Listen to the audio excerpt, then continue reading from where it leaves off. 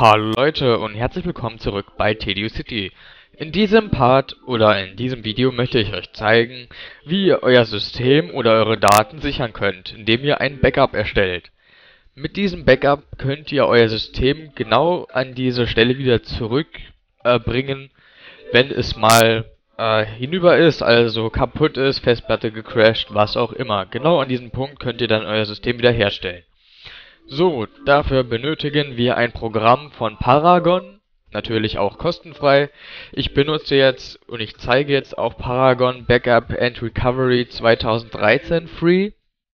Es gibt auch schon 2014, ich benutze aber immer noch 13, weil ich in 14 noch nicht reingeguckt habe. Entweder macht ihr es genauso oder ihr guckt in 14 rein. Ich glaube, in 14 wird nicht so viel Änderung sein. So, Link natürlich auch in der Videobeschreibung. Wir klicken zum Download durch, wie ich es auch gerade gemacht habe beim Chip-Server zum Download. Laden das Ganze herunter, das habe ich jetzt gerade schon gemacht. Dann gehe ich zum Downloads-Ordner. Also, und installiere die Datei. Die nennt sich hier BR-Free 2013 EN. Diese öffne ich gerade, lasse sie zu. Und jetzt werden sich manche denken, hey, ich dachte, das ist doch eine Free, also eine kostenlose Version. Warum brauche ich dann Serienkey und so? Ja, ganz einfach. Hier einfach mal Click here to the halt to the registration page. Da können wir einfach angeben, muss kein muss nicht der normale Name sein, muss auch natürlich nicht der normale Nachname sein. Es kann irgendeine E-Mail-Adresse sein, kann auch eine Trash-E-Mail-Adresse kurz sein. Country sollte allerdings stimmen. Language sollte auch stimmen, damit es auch für diese Version hier verfügbar ist. Einfach schnell alles angeben und kostenlos den Key erhalten. Es müssen keine richtigen Daten sein, Hauptsache irgendwas und eine gültige E-Mail-Adresse, damit ihr dieses Ding bekommt. So, ich habe jetzt hier schon einen Produktkey und alles. Dann gebe ich den mal kurz ein. So, wenn der Produktkey eingegeben plus die Seriennummer eingegeben ist, einfach auf OK klicken. Das Ganze wird dann hier bestätigt und wir können hier einfach die Installation fortsetzen wie jede andere. Wir klicken auf Next, bestätigen das Ganze, wieder auf Next, können hier den Benutzernamen angeben, wie zum Beispiel hier TDO City jetzt in diesem Fall. Hier können wir noch einstellen, für wen das ganze Programm halt da sein soll. Entweder für jeden Benutzer, der den Computer nutzt, oder nur für meinen Benutzer. Natürlich ist standardmäßig für jeden Benutzer angewählt, würde ich auch lassen. Klicken wir auf Next wieder. Hier können wir noch einen Hotcore Driver, ne, können wir nicht installieren, der ist ja rausgenommen. Zumindest kann ich ihn nicht hier gerade installieren. Brauchen wir auch nicht, wir brauchen eigentlich nur das Programm. Das andere ist sowieso unnötig. Falls hier was drin ist, kann man es dann ja rausnehmen. Dann klicken wir auf Next, installieren das Ganze. Warten da kurz. Bestätigen hier nochmal, dass es darauf zugreifen kann.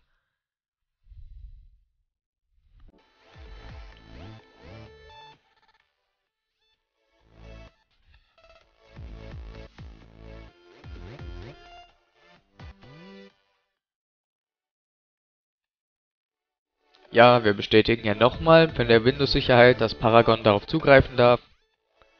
Also, wir haben installieren geklickt, dann einfach.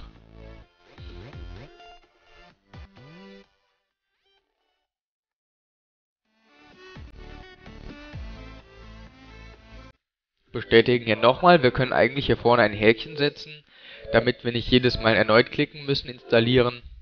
Es kommt jetzt nämlich wahrscheinlich mehrere Meldungen von Paragon dass die ihre Systemsachen da installieren wollen. So, wir können die Installation abschließen, indem wir auf Finish klicken. So beendet sich das Ganze dann auch direkt. Hier können wir dann äh, direkt auf dem Desktop das Programm auswählen. Paragon Backup and Recovery 2013 bzw. 2014 Free. Einfach Doppelklick drauf. Wir brauchen natürlich Adminrechte. Falls wir keine haben, werden wir dazu aufgefordert, Passwort einzugeben. Und so sieht das ganze Programm dann aus. Also nochmal, das 14er sollte ähnlich aufgebaut sein. Ich habe noch nicht reingeguckt. Falls es ganz unterschiedlich sein sollte und ich es benutzt habe, werde ich natürlich auch nochmal ein Video machen, ansonsten nicht. Oder falls es ein bisschen verwirrend ist, auf dem gleichen, halt aber gleich basierend ist. Egal. Ich schau mal. So, jetzt sehen wir hier mehrere Sachen, wie Upgrade Now brauchen wir natürlich nicht, das würde uns ja wieder Geld kosten. Tools Da brauchen wir jetzt auch nichts einstellen. Ich möchte ja eigentlich euch nur zeigen, wie man ein Backup von seinem System oder seinen Daten erstellt. Hier können wir erst auswählen, ob wir ein Backup machen wollen oder ein Backup wiederherstellen wollen. So, jetzt denken sich manche, hey, wenn mein System noch kaputt ist und ich nichts mehr auf der Festplatte habe, was bringt mir es dann, wenn ich hier erst Restore drücken kann, wenn ich das Programm installiert habe? Ja, hier dieser Punkt ist nur für den Fall da, dass das System noch läuft, irgendetwas falsch gemacht wurde, das System noch geht, aber nicht ähm, halt mehr ordentlich läuft. Dann kann man es einfach wieder hier zurücksetzen auf den Punkt, wo man es gesichert hat. Ähm, bei Tools hier können wir ähm, hier anwählen Burn Recovery Media. Das bedeutet, ja ich habe jetzt mal kurz drauf geklickt.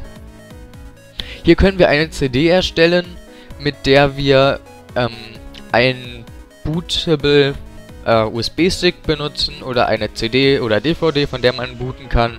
Natürlich kann man nur ein Flash Memory, also Festplatte, USB-Stick verwenden, wenn dieses Motherboard auch davon booten kann. Ansonsten einfach CD, DVD auswählen und dann wird da drauf etwas gebrannt, damit man davon booten kann. Dies bedeutet, System weg, Festplatte hinüber und so weiter und so fort. Nichts mehr läuft auf dem PC. Einfach neue Festplatte rein oder halt die vorhandene, die noch läuft, rein. Äh, diese DVD, CD einschieben oder den USB-Stick oder Festplatte dranhängen, davon booten und dann wird man dort auch gefragt, ja, welches System würden Sie denn gerne wiederherstellen? Natürlich muss das System dann entweder auf dieser einen Festplatte vorhanden sein, also das Backup von dem System, oder ähm, halt, es muss auf einer externen Festplatte über einen USB-Port angeschlossen sein. Dieses möchte ich jetzt allerdings nicht zeigen, sondern das mache ich vielleicht in einem anderen Video. Ich möchte jetzt erstmal zeigen, wie erstellen wir überhaupt ein Backup. Wir gehen hier oben nochmal auf Backup and Recovery, klicken hier auf Backup, dann warten wir kurz.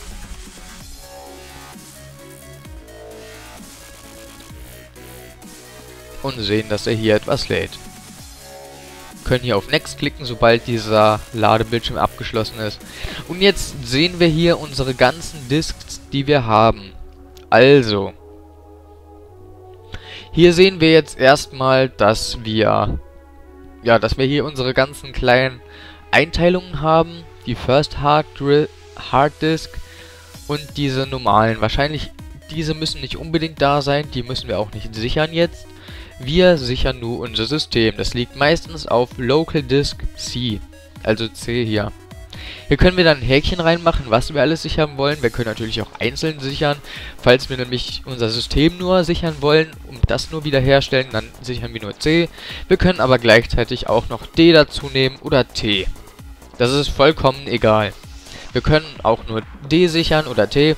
So, was noch sehr wichtig ist, beim Sichern, also beim Backup erstellen von diesen Dingern, darf diese Partition nicht verwendet werden. Also es darf, wenn jetzt zum Beispiel C verwendet wird, ist es nicht möglich, dass man jetzt einfach ähm, PC ausmacht und das C nicht mehr verwendet wird. Okay, es wäre vielleicht schon möglich irgendwie, aber es ist ein bisschen kompliziert und dieses Programm ist zum Glück in der Lage, C trotzdem zu sichern, auch wenn das System läuft. Dabei sollte halt nur beachtet werden, es sollten keine Programme währenddessen ausgeführt werden. Und es sollte natürlich auch auf nichts auf C drauf kopiert werden. Bei D und T ist es genauso, keine Daten sollten verwendet werden von D oder T, beziehungsweise den anderen Laufwerken, von denen das Backup erstellt werden soll. Und es darf nichts drauf kopiert werden. Wir würden jetzt theoretisch mal C auswählen, denn wir wollen unser System sichern. Ja. Klicken auf Next. Wobei, hier unten können wir noch was auswählen. Change Backup Settings können wir hier anklicken noch, dann kriegen wir wahrscheinlich mehr äh, Backup Settings angezeigt. Wollen wir aber eigentlich nicht unbedingt, also können wir nochmal rausnehmen. Wir lassen das einfach so Next. Hier können wir dann auswählen, ob es auf eine CD, DVD oder eine BD gebrannt werden soll, was auch immer das gerade ist. Oder ob es auf eine Festplatte äh, erstellt werden soll, also dieses Backup. Ich mache das jetzt auf eine Festplatte, also lasse ich das. Dies kann entweder auf einen anderen Teil der Festplatte sei, äh, geschoben werden, das erste Mal, die also virtuell geteilt ist, zum Beispiel mit dem EASUS Partition Master. Oder natürlich, wo es nachher sowieso drauf sollte, auf eine andere interne Festplatte, auf der nicht das gleiche System liegt oder am besten auf eine externe Festplatte. Dies ist dann allerdings egal, ob es auf eine interne oder externe ist, solange es nicht die gleiche ist, denn das wäre ja Unsinn, wenn das System crasht, also die Festplatte, dann ist dieses Backup natürlich auch verloren. Es hätte den einzigen Vorteil nur, wenn wir es auf die gleiche Platte machen, dass es dann mindestens in virtuelle Partitionen eingeteilt ist, dass man ähm, sein System wiederherstellt. Einfach so. Also nur das System. Wenn man jetzt halt das System läuft noch und dann sagt man, ja, hier, ich möchte auf diesen Punkt zurücksetzen, wo ich das Backup gemacht habe, dann wäre es sinnvoll. Trotzdem empfehle ich auf jeden Fall auf eine externe Festplatte oder eine andere Festplatte das Ganze zu legen. So, das habe ich jetzt ausgewählt, klicke wieder auf Next. Und jetzt können wir hier natürlich auswählen, erstens, ähm, wohin soll das sein? Da ich C sicher, werde ich auf keinen Fall auf C wieder draufgehen. Muss mal jetzt gerade schauen, ob ich überhaupt jetzt ein Backup machen kann zum Vorführen. Nein, kann ich nicht. Ist auch egal, ich zeige das nur rein theoretisch jetzt. Rein theoretisch könnte man das auf äh, O machen oder T. Ich mache es jetzt angeblich auf T. Hier kann ich noch den Ordner umbenennen. Hier kann ich Plus machen, könnte ich einen Ordner dazufügen, zum Beispiel Backup. Ich empfehle immer dazu zu schreiben, ist es welcher Datenträger, also in diesem Fall C, und das Datum. Das würde ich auch in den Namen einfach nochmal reinpacken. Nicht, dass man dieses Datum hier hinten auf einmal, dass es nicht stimmt oder geändert wird aus irgendeinem Grund, einfach in den Dateinamen nochmal hereinpacken. Natürlich haben wir bei diesem Programm auch die Möglichkeit, unser Backup übers Network, also übers Internet, am besten im eigenen LAN irgendwo hinzusichern, falls dies möglich ist, dass auf einen anderen PC das Backup geschrieben wird, also auf einen Teil der Festplatte oder irgendwo eine Festplatte im Netz hängt, kann man hier Network auswählen. Jetzt muss man dann allerdings den Pfad und alles noch eingeben. Und mir sagt er hier schon, dass sich kein Filesystem irgendwo gefunden hat das er nirgendwo draufschreiben kann, deswegen ist dieses Ganze nicht möglich. Also es wäre jetzt hier angeblich auf D, hier können wir noch den Namen selber ändern nochmal, nicht nur vom Ordner, sondern auch vom Namen an sich. Hier sehen wir, wie viel momentan, ähm, nee, hier sehen wir, wie viel dieses Backup verbrauchen wird. Momentan 6,9 GB. Und hier sehen wir, wie viel verfügbar ist. Nur 5,9. Deswegen wird das Ganze nicht funktionieren. Deswegen habe ich jetzt auf Yes geklickt. Deswegen kommt diese Fehlermeldung. Ja. Klicke ich nochmal Yes. Hier können wir noch ein Dokument dazu anlegen und können sagen Backup Now und dann beginnt das Ganze, wenn wir auf Next klicken. So, das war's dann rein theoretisch alles. Machen könnt ihr das dann selber. Ich werde es jetzt nicht noch zeigen, denn das war's dann eigentlich auch schon. So, wenn dieses Backup angelegt ist, wie schon gesagt, wenn das System einmal nicht mehr richtig funktioniert, das System aber noch läuft, kann man es ganz einfach wiederherstellen mit dem Programm auf Restore oder wenn das System komplett hinüber ist, kein System mehr läuft oder die Festplatte kaputt ist, einfach halt ähm, hier diese Recovery Media CD oder diesen USB-Stick verwenden. So. Bei weiteren Fragen einfach ab in die Kommentare damit oder wenn ihr keinen YouTube-Account bzw. Google Plus-Account habt, schaut in die Videobeschreibung. Dort ist ein Link zu meiner Facebook-Seite. Dort könnt ihr auch Fragen schreiben, indem ihr eine persönliche Nachricht schreibt oder an die Chronik schreibt. Ist vollkommen egal. So. Natürlich könnt ihr auch eine persönliche Nachricht schreiben auf YouTube oder Google Plus. Mir egal. So, wenn ihr keine weiteren Videos mehr verpassen wollt, klickt kostenfrei auf den Button Abonnieren und wenn ihr keinen YouTube-Account habt, schaut in die Videobeschreibung, dort könnt ihr meine Facebook-Seite liken. Dort wird auch jedes Mal, sobald ein neues Video online kommt, ein Link geteilt plus eine kleine Information dazugegeben, um was es sich in diesem Video handelt. Gut, dann vielen Dank fürs Zuschauen und bis zum nächsten Mal. Tschüss.